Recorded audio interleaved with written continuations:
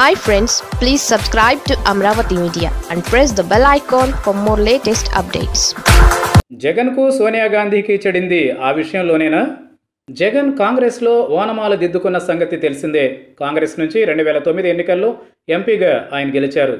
అంతేకాదు కాంగ్రెస్ పార్టీ అభ్యర్థుల గెలుపు కోసం రెండు వేల నాలుగు నుంచి ఆయన తన కడప జిల్లాలో ప్రచారం చేస్తూ వచ్చారు. ఇక తండ్రి వైఎస్ఆర్ కూడా నిబద్ధత కలిగిన కాంగ్రెస్ పార్టీకి చెందిన కీలక నాయకుడు. దాంతో జగన్ కూడా కాంగ్రెస్తోనే బంధం అనుబంధం పెంచుకున్నారు. మరి కాంగ్రెస్కి అంకితమైన వైఎస్ఆర్ కుటుంబం నుంచి వచ్చిన జగన్ కాంగ్రెస్ నుంచి ఎందుకు బయటకు వచ్చారు?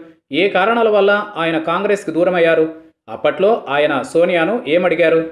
ఆమె ఎందుకు నిరాకరించింది? అన్న ప్రశ్నలకు ఎన్నో సమాధానాలు వచ్చాయి. కొంత జనాలకు తెలుసు కొంత తెలియదు. ఇవన్నీ ఇలా ఉంటే కాంగ్రెస్ పార్టీలో జగన్ ఉన్నప్పుడు అసలు ఏం జరిగింది? సోనియా గాంధీ వద్దకు జగన్ వెళ్ళి నాడు ఏమడిగారు అన్న దాని మీద జగన్ తల్లి వైసీపీ గౌరవ అధ్యక్షురాలు వైఎస్ విజయమ్మ ఓ మీడియాకు తాజాగా ఇచ్చిన ఇంటర్వ్యూలో ఆసక్తికరమైన అంశాలు ఎన్నో చెప్పారు. నిజానికి జగన్ సీఎం టార్గెట్ రెండు వేల పద్నాలుగు ఎన్నికల్లోనట ఆయన కాంగ్రెస్ అధినేత్రి సోనియాను కలిసి తనకు రాష్ట్రంలో కాంగ్రెస్లో బలోపేతం చేసే అవకాశం ఇవ్వాలని కోరారట.